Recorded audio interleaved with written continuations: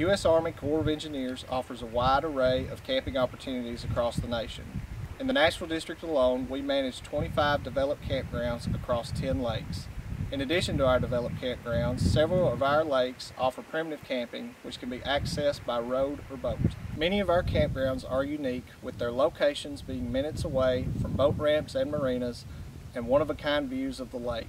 Make your reservations by calling the National Recreation Reservation Service at 1-877-444-6777 or visit the Nashville District's website for more information on opportunities around any of our lakes.